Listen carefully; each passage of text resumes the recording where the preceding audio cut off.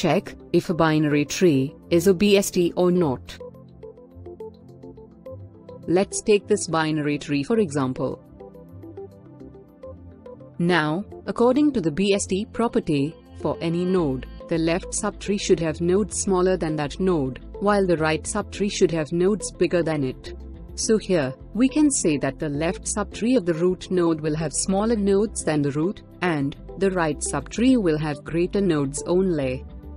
Based on this observation, we can simply say that for a binary tree to be a BST, the value of each node must lie within a certain range and the range for any node will be decided based on its parent node.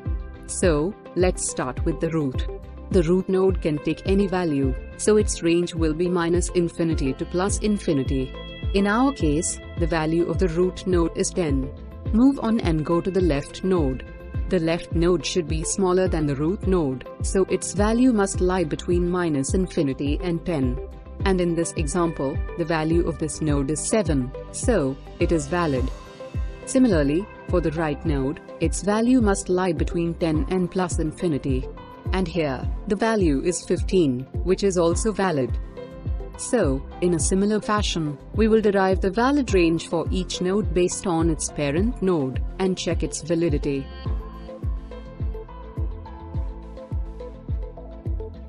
Now, since 9 doesn't lie in the valid range, which is from 10 to 15, this violates the property of BST and hence this tree is not a BST.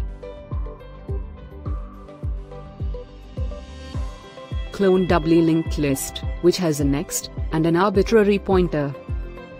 Let's take this linked list as an example. Here, the white arrows represent the next pointer, and the red arrows represent the arbitrary pointer of a node. We are supposed to clone this linked list. So, to do that, first, simply clone all the nodes in a new linked list with only next pointers. We will call this new list, copy list. Now, point the next pointer of all nodes in the original linked list to the corresponding nodes in the copy list. For each node in the copy list, point its red pointer to the corresponding node pointed by that red pointer in the original list. Finally, in the copy list, point each node's red pointer to the immediate next node. The linked list has been cloned. Connect nodes at the same level in a binary tree.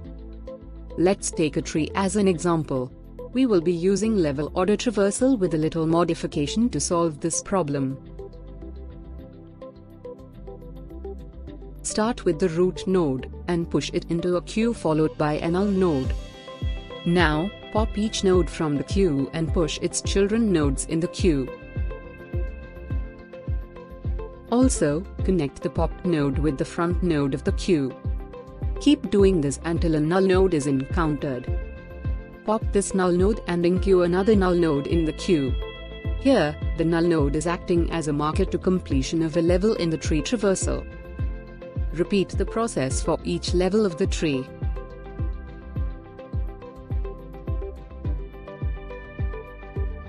This process will take big O of n time.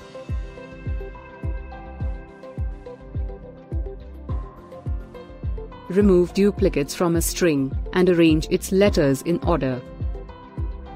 In this particular problem, we can use the data structure set set is implemented using self-balancing binary search tree, and the elements inserted in a set are unique and automatically sorted.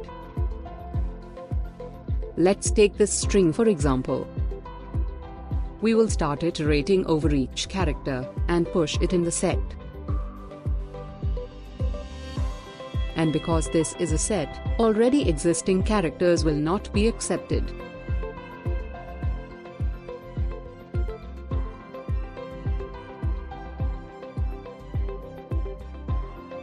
The time complexity for this process will be big O of n log n, where n is the number of characters in the string.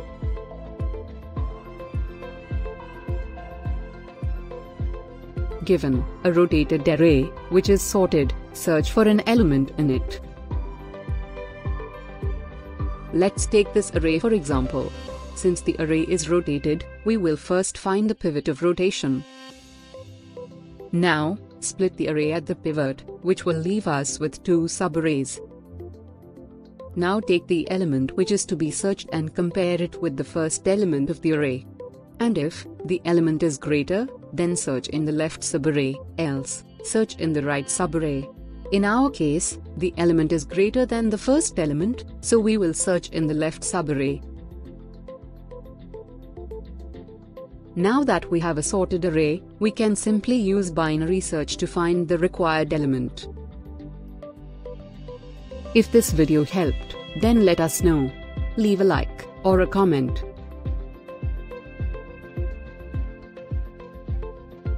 Thank you for watching.